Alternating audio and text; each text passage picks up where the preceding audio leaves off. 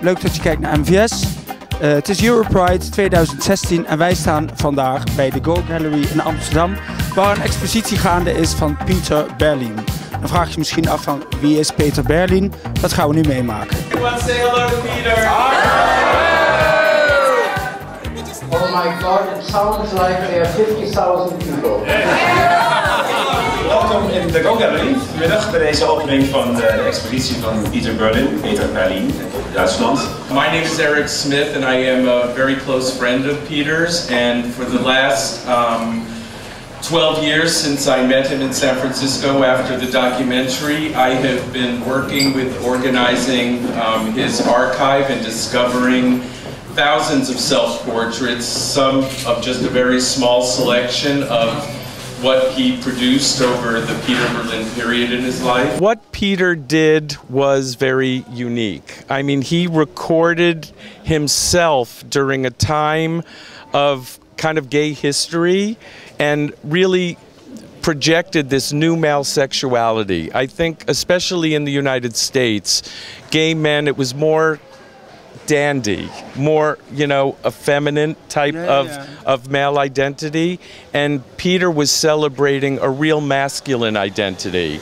You know, I compared to like you know Tom of Finland and some of these physique magazines that were there. You know, but that was a kind of hyper masculinity, the other side, and I think what Peter did was something that really just celebrated a very natural male form. I'm perfectly well here, but I'm in a way uh, uh, a little little sorry that I'm not there because I remember Amsterdam from God 1965, and I remember actually only the frontal part, what was a very beautiful part. Are there young people uh, in the audience there? Be- because if I just can talk to the young people, just uh, use that time now, because I tell you that whole thing with the getting old business is really a bitch. It's really a bitch. Is niet gekomen, hè? Jammer. Het is heel jammer. Eh, het was zo fijn geweest.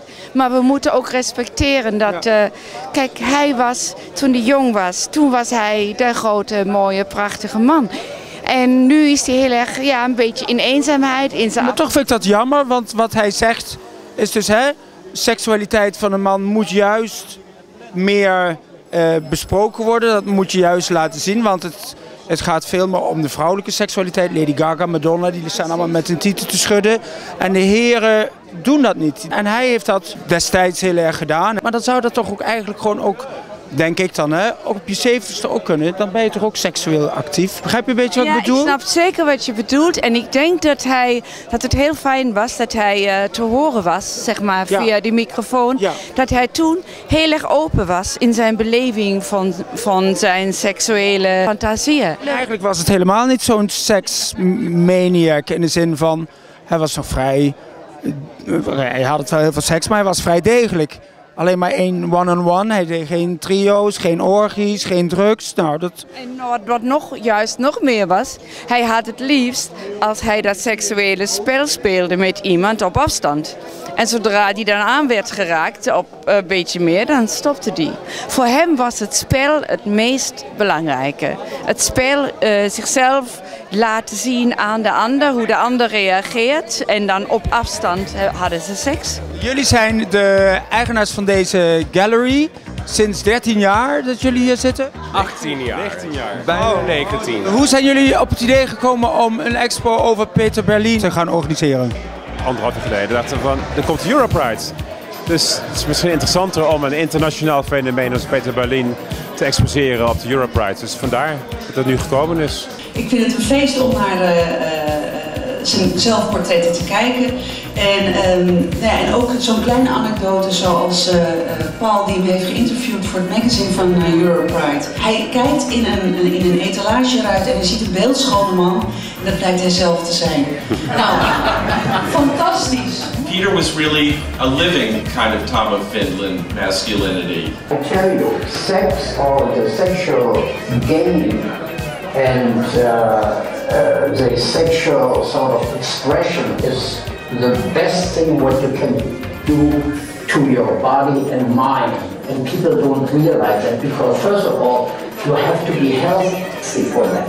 Health is so important, so people treat yourself well because that that that that uh, thing with eating and drinking and drugs. Secure the whole bathroom. Go in there for eight hours in the bathroom and develop photographs. you And then to go to the gym as well to look like that. I mean, No, he didn't go to the gym. Are you really? He didn't Are go to the for sure? gym. Yeah.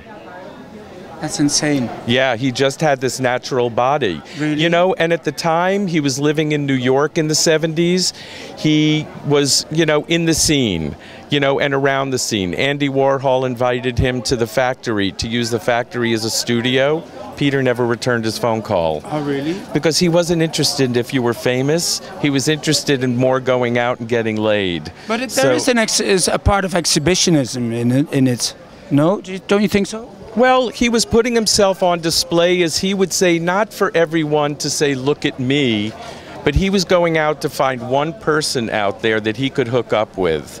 So he said, all I did was go out and be the best that I could. He said, I wasn't the only one dressing up, you know, and going out. A lot of guys at the time were wearing tight jeans and showing basket and, you know, all of that. He said, I just did it better because I wanted to get the best person for Showing me. basket.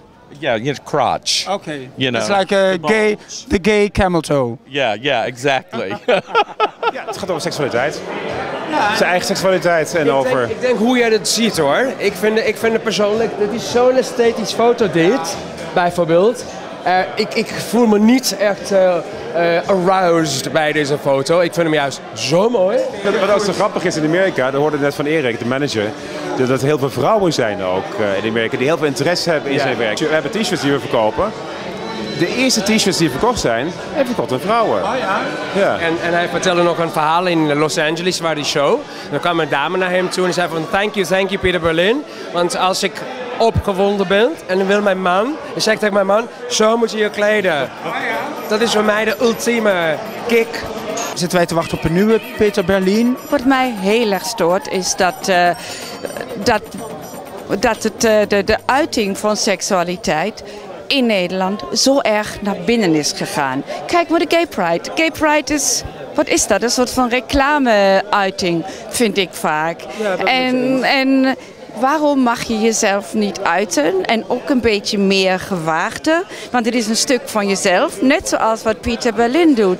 En ik denk dat het individualisme in je erotische uiting, dat dat heel belangrijk is. En dat eh, de medes, de, eh, zeg maar, de bevolking en de mensen die daarnaast staan, zoiets juist zouden moeten waarderen.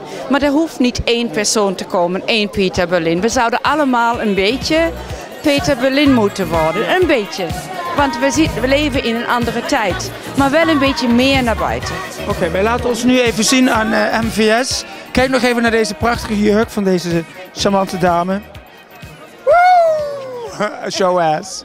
Oh, and baskets.